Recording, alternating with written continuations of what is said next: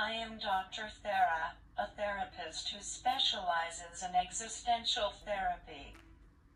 I am here to help you explore your thoughts and feelings and provide guidance as needed.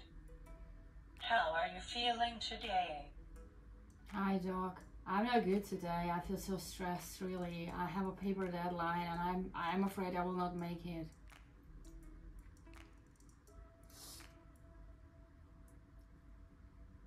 I'm sorry to hear that you're feeling stressed.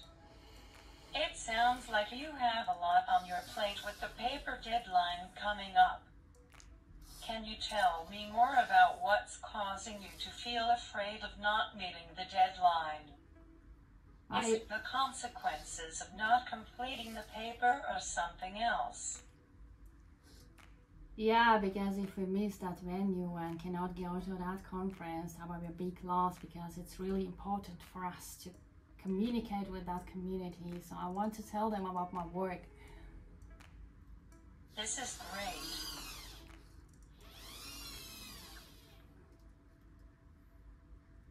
It sounds like there are a few different factors contributing to your stress around the paper deadline, the importance of the conference, and the need to communicate with others.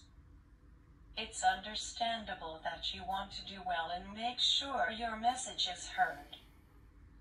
However, it's important to remember that everyone has limitations, and it's okay if you don't meet every expectation perfectly. Yeah, but what if I don't make it? I will feel like a loser, you know? No way.